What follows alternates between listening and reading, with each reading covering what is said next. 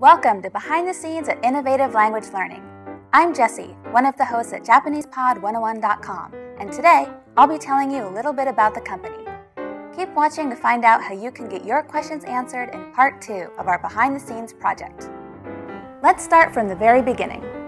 In 2005, Peter Galante started JapanesePod101.com with a couple of friends, some publishing software, and a passion for teaching language. The goal was to create and deliver fast, fun, and effective Japanese language lessons for free via podcast. Now remember, back in 2005, podcasting was a revolutionary new technology. But after a lot of trial and error, JapanesePod101.com took off. The response was huge, and the demand for new features and languages came in. Now, five years later, innovative language learning is much more than just JapanesePod101.com. We now have sites for 16 different languages, that's 8,000 language lessons and counting. There's the super popular survivalphrases.com, geared towards world travelers.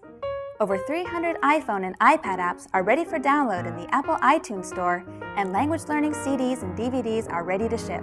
Thanks to our loyal listeners and publications like Newsweek, PC Magazine, and the New York Times, we were able to reach 101 million lesson downloads in 2010 a huge milestone for us, considering we started with one guy at one desk. But of course, we're always working on something new new languages, new series, and more.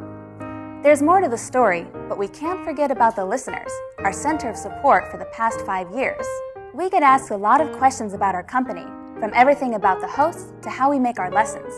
In our next news lesson, we'll be answering your questions directly. So if you have a question about innovative language learning, leave it in the comment section of this news lesson.